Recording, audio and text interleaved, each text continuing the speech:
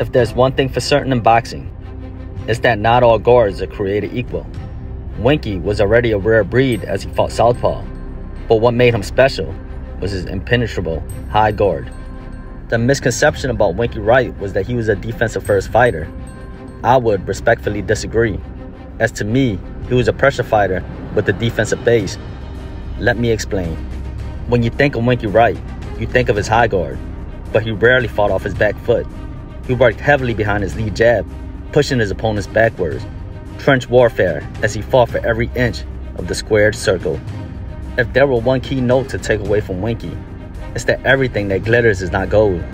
There was nothing truly flashy about his style. He was the embodiment of astounding fundamentals.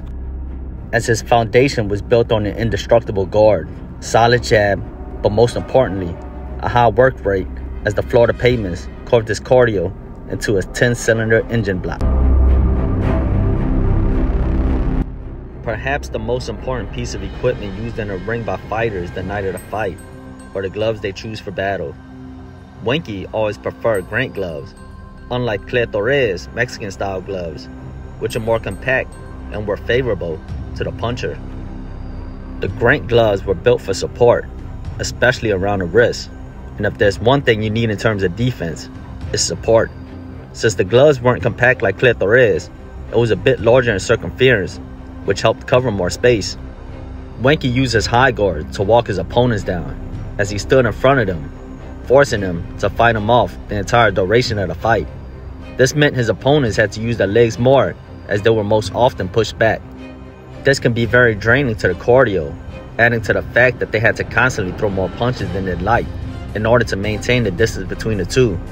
There was often discouragement from his opponents as they would launch all their heavy artillery on Winky's balls and was still unable to push back nor slow him down one bit. His high guard wasn't static. When you think of static, you think of Arthur Abraham, where he would just sit and absorb all the punches with a strong guard in hopes that his opponent slowed down in the later rounds. For there, he'd unload his heavy shots. Winky had a very active high guard. He wasn't just platonic in the sense that all he did was hold his hands up high. He also utilized hand blocks and parried oncoming punches. Parrying added another weapon into his arsenal, as he was able to deflect punches to then counter off of it.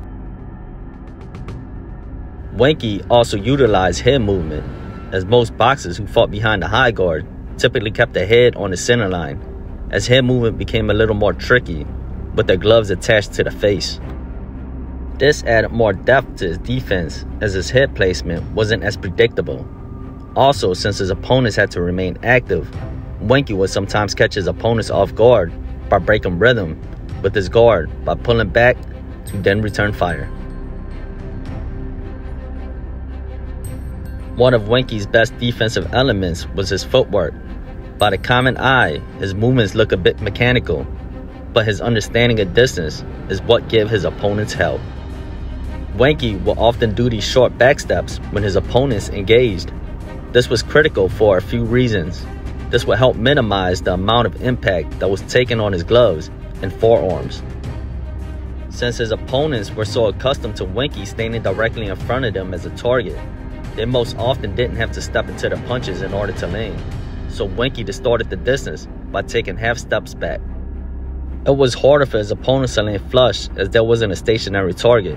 By pulling back, he was able to deflect a lot of these punches and lessening its impact. When Winky timed his backstep correctly, he was able to get his opponents to reach in to the encounter while they were off balanced. If you were to ask any expert what's the most important punch in boxing, they'd all tell you the same thing the jab. The jab is the closest punch to landing against the target. Winky used his jab methodically. With such a solid guard, he favored to press the action as he wanted to wear his opponents down while trying to beat them into submission.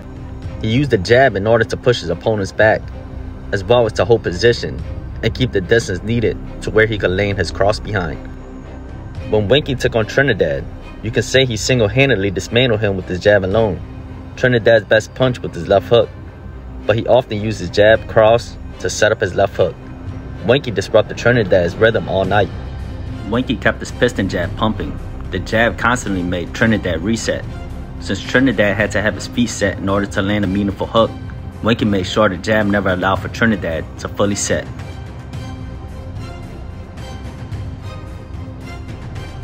Winky didn't require many complex angles, as he was able to work his way into the pocket with his jab. Since he had a reliable guard, he was able to stay in front of his opponents. This meant he was able to open up and beat them to the punch. On the inside, he would throw good, short punches. It was hard for his opponents at time, as there were little to no telegraph. By the time they saw it coming, the head would have already snapped back.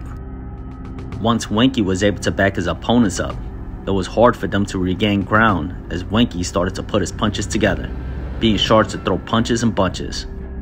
With such bulldozing aggression, Winky really made his opponents work for any little breathing room. If they were unable to keep him off of him, he would continue to hammer at the defense until their will started to collapse. A true boogeyman during his prime, stylistically he was a nightmare for anyone, a pressure fighter with a defensive base. On top of that, he had an engine like none other. Nothing came easy for his opponents, as they rarely even had a second to breathe or collect their thoughts. A truly underappreciated champion, as he never got the stardom he so well deserved. Winky will go down as one of the greats, as he would have been champion in any given era of boxing.